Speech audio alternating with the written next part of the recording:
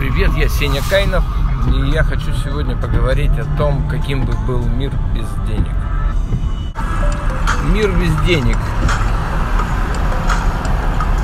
Данный материал предполагает взглянуть на вещи с нового ракурса, на привычные вещи с нового ракурса. Некая фантазия на тему, что будет, если деньги изменят свой статус, если деньги займут несколько иное положение в нашем мире, в нашем обществе. Условное название «Мир без денег». Может ли быть жизнь без денег? Может быть ли существовать общество органично без денег?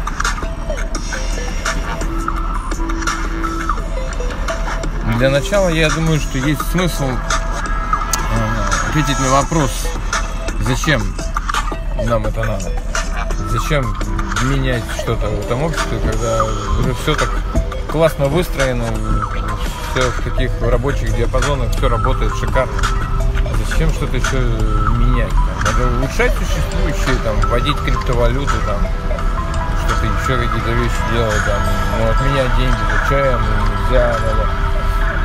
А если допустить, ну, вернее, не если допустить, а как вариант, вот, э, если пойти от обратного, ну, просто порассуждать, например, все ли у нас в нашем мире, в нашей жизни нашего общества современного, на всей планете, все ли прекрасно? Ну, конечно же, нет. Сколько у нас э, проблем у общества? Огромная масса. И мы постоянно всем обществом, всем миром боремся. Там, отдельно в странах, каждая там, или совместно всем миром. С коррупцией боремся, там, с проституцией, с наркоманией, с терроризмом, с преступностью, там, с криминалом с организованной преступностью, ну, в общем, со всей этой канителью. И, казалось бы, мы готовы все поставить на карту, чтобы эти болячки уже как-то искоренить из нашего общества. И там смотрим на опыт соседей наших, там, как в Китае победили коррупцию, там, частично, полностью или там, да, какой опыт применить у нас здесь и так далее. Ну, давайте тогда себе ответим на вопросы, что порождает все вот эти э, вещи, которые я перечислил же самые преступность, э, там, ну, во всех ее проявлениях преступность, понятно. Что у нас является причиной появления всех этих негативных проявлений? Конечно же, деньги.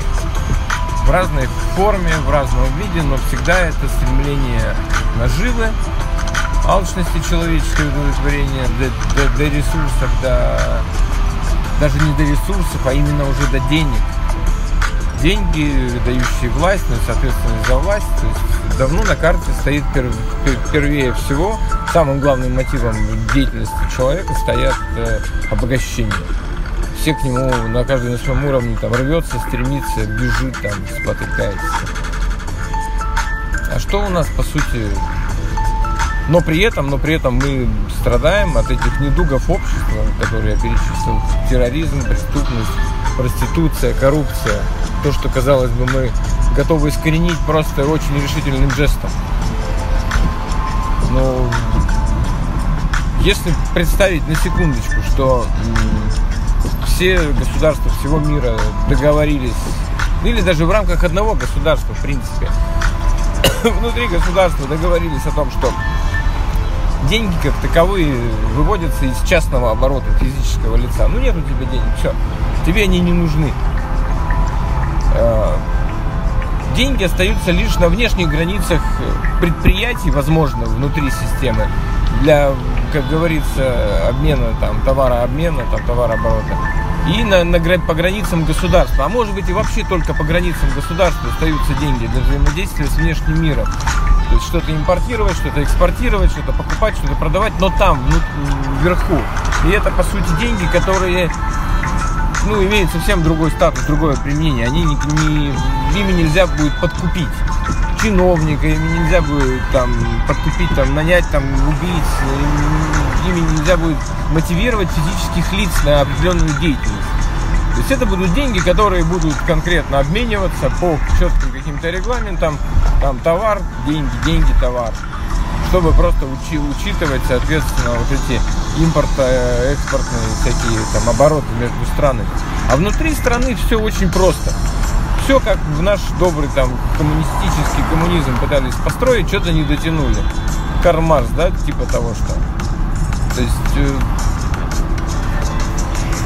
все всех есть, всем все доступно. То есть вся внутренняя экономика, она перестает э, зарабатывать на гражданах. Она им дает необходимый максимум, прожиточный максимум, потому что как мы же все прекрасно знаем, что товаров э, разного вида, и продуктов питания, и да, народного потребления, техника там какая-то, очень много уходит э, под пресс, уходит там выбрасывается. Ну понятно, да, что избыток у нас, переизбыток, э, перепроизводство у нас всего на свете.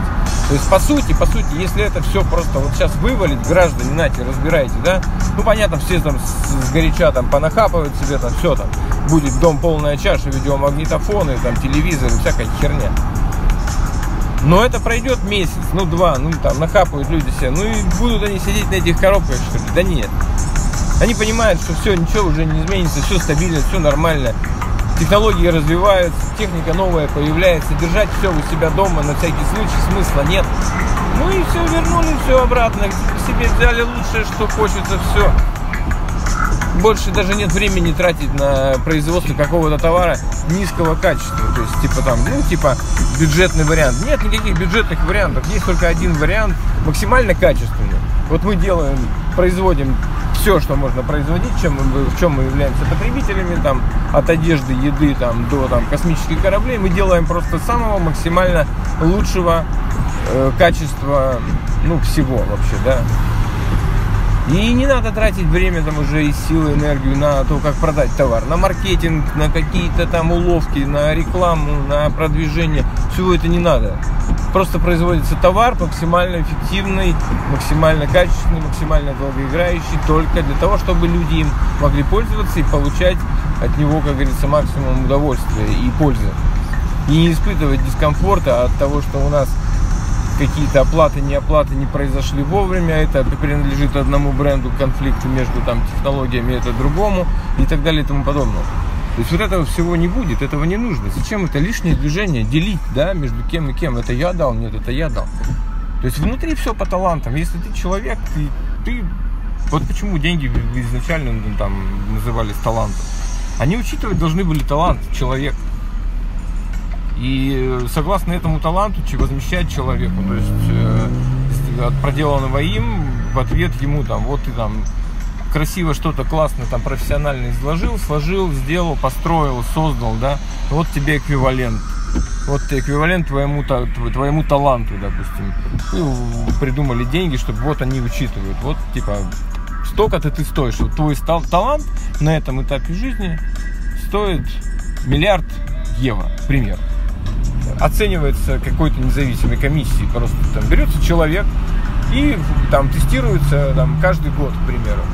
И э, каждый год ему его эквивалент его талант, талантов он изменяется. Ну, естественно, в сторону, в массе свою сторону увеличения, потому что ну, человек развивается за этот год, становится умнее, там, он тем более на замотивирован, чтобы, соответственно, быть э, более развитым, более образованным, более понимающим, то есть э, более талантливым. Его талант будет оцениваться как раз и в определенную энную количество то есть, условных единиц денег. То есть это не те деньги, которые ты вот взял и сразу в чемодане положил, все там понес.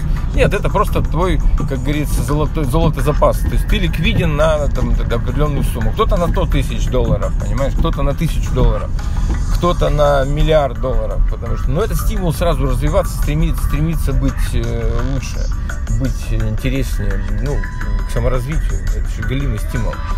Да, ты этой валютой можешь как-то, видимо, оперировать и э, в рамках этих денег, там, видимо, ну, вот этих, даже не виртуальных, вот этого номинала ты можешь там устраивать свое благосостояние, там, уже, уже там, хотя это тоже какой-то формат, наверное, все-таки денег, но это, видимо, просто другой формат денег. А мы же начали говорить про то, что как может быть жизнь, если вот в человеческом общении наличных денег как таковых не будет. Не только наличных, вообще денег для, между людьми, то есть их как бы не должно быть. Тут, конечно, сплетаются, по-моему, уже две какие-то теории. Но я, в общем-то, вот о чем хотел сказать. Когда на секундочку представить, что уйдет там наркомания, уйдет коррупция, уйдет проституция, уйдет часть, львиная доля преступлений, уйдет львиная доля войн, потому что войны и битвы всегда были за ресурсы, за власть, за власть и так далее, за деньги. То есть вот реально вот весь, весь ну, как бы основной вот этот негатив, с которым борется все общество, да, с каждым днем все сильнее и сильнее, оно просто упразднится и перестанет существовать как таковое в принципе, если деньги вот э, выйдут на новый статус, то есть только для внешнего учета каких-то там движений между там, государствами там, и так далее. Сейчас на ворота уходит. То есть э, людей невозможно подкупать, людей невозможно мотивировать деньгами, соответственно, уходит автоматом коррупция. Люди перестают, исчезает необходимость э, добывать деньги нечестным путем, потому что деньги, в принципе, для оборота для частного не нужны. Все есть, пожалуйста, иди возьми, сколько хочешь там еду, хочешь шубу, хочешь рубашку, там, сядь на машину, поедь. Не нравится машина, ну, уйди там. Каршеринг для этого, кстати, тоже хорошая тема, да. То есть платить не надо, машины стоят, какие хочешь. Все хорошие, все хорошие. Плохих машин нет, не нужны никому бюджетные машины. Все машины просто такие, какие хочется.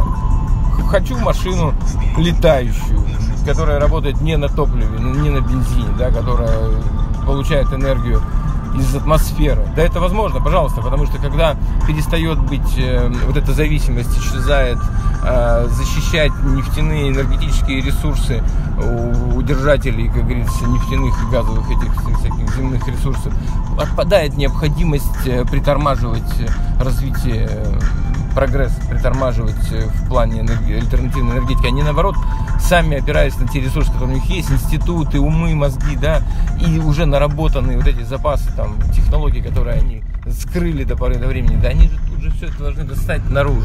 Все достанут и сразу возникнет э, ну, как бы, очень мощный скачок прогресса, потому что все технологии, они же уже давно есть, много всего, чего есть что-то уже прорывается, уже накопилось настолько много, что оно уже не удерживается где-то в кулуарах, оно там то тут, то тут, благодаря интернету, благодаря э, видео, видео доступного съемки, там, фиксации там, каких-то вещей, технологий компьютеров, то есть все это развивается молниеносно и уже просто на уровне даже частного бытового сектора возникают такие технологии по альтернативной энергетике, что просто ум за разум заходит, почему мы до сих пор не пользуемся благами, которые нам мы сами же себе уже создаем. Но и мотивация всегда это тормозит. Мотивация мое, мои деньги, мои средства, мои ресурсы. Я хочу, чтобы было так, как я хочу, и, соответственно, я ресурсы буду направлять на то, чтобы тормозить э, процессы, которые останавливают мое обогащение.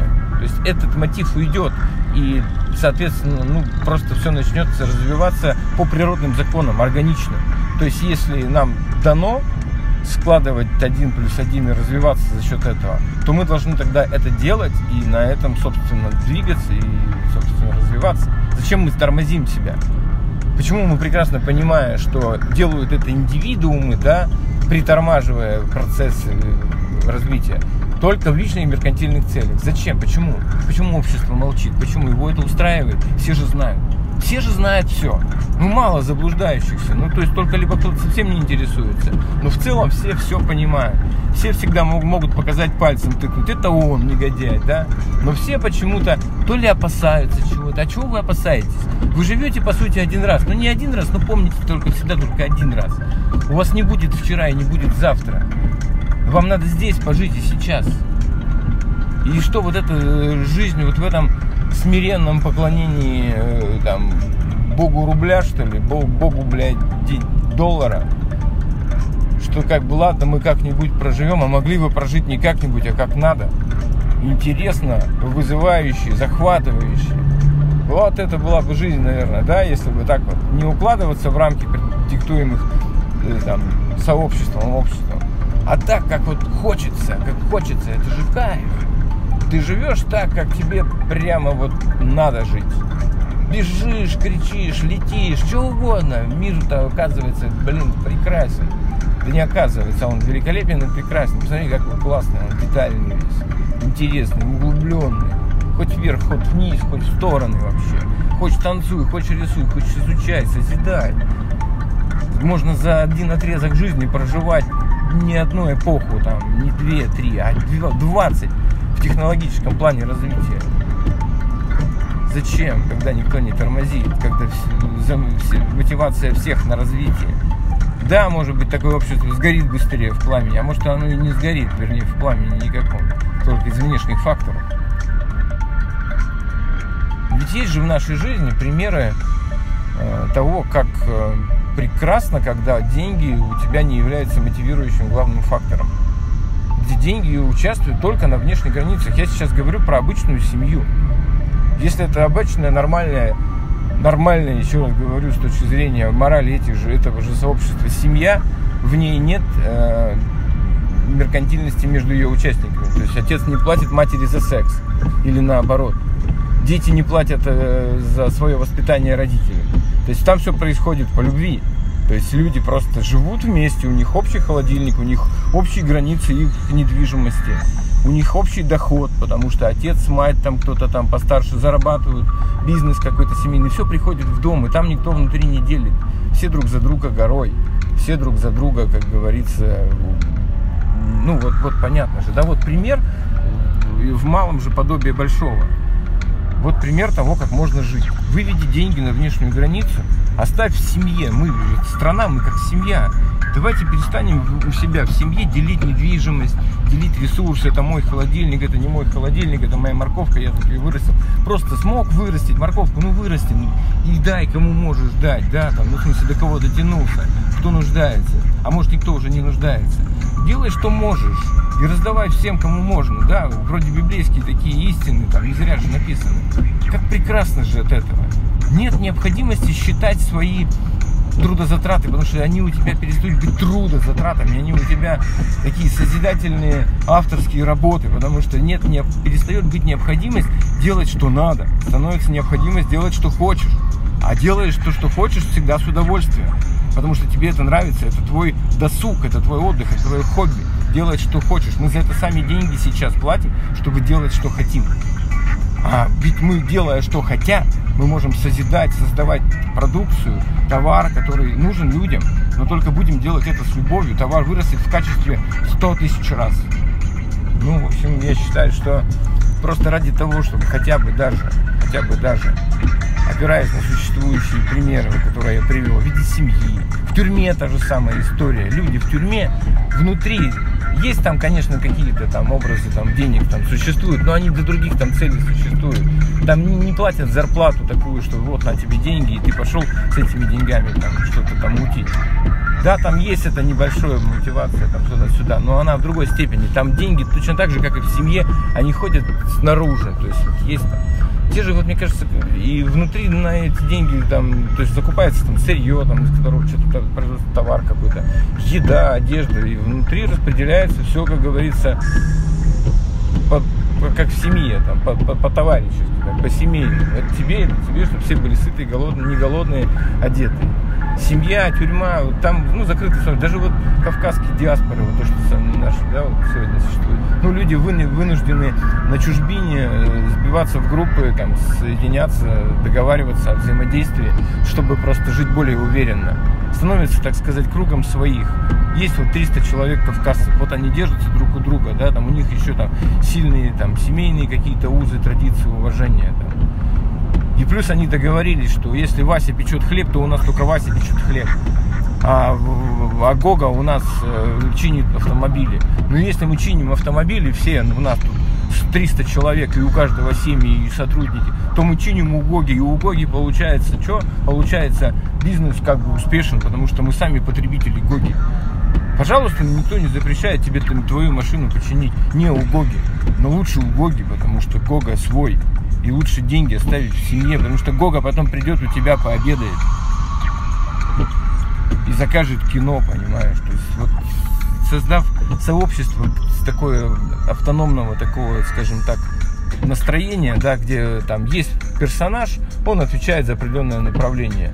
И все по умолчанию, по договоренности обслуживаются у него. Ну хотя бы процентов на 25-30. Это ему уже делает бизнес, он, ему нет необходимости тратиться там, на рекламу, на маркетинг, у него есть уже э, максимальный необходимый оборот э, клиентов в виде вот своего сообщества.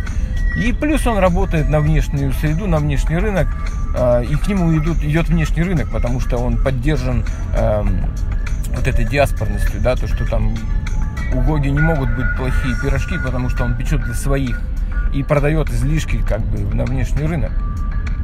Ну, в общем, тут целая история, которую можно как бы развивать. Вообще надо, мы же естественно наблюдатели, да, мы же следим за природой и подсматриваем какие-то вещи, и потом внедряем себе. То есть почему не смотреть на вещи, которые удачно слаженные? Есть же примеры, как складываются общественные устои, там, органично складываются. Не когда их там строят, продумывают умищи, там, специалисты, а когда они органично складываются, как вот в семье, в тюрьме, просто вот э, в жестких, ну, каких-то суровых более-менее условий, там, какие-то вот, заставляют людей вот как-то вести себя, складываться в сообществе. Так. Вот, так что вывод денег за периметр семьи и остановка вот внутренних денежных финансовых взаимоотношений уберет, наверное, процентов 90 всех проблем общества. Какие-то вообще на 100%, какие-то на меньше, но те же преступления точно, ну, по крайней мере, на материальной основе точно все уйдут, смысла нет.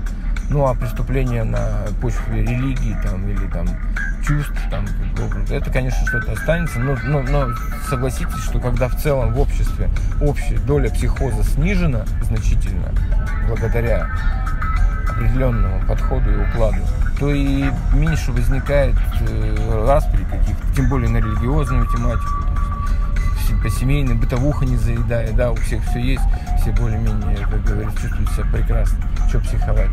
То есть я считаю, что это правильный путь решения вообще. Мир без денег. Да, мир без денег. Автор телеги Сеня Кайнов.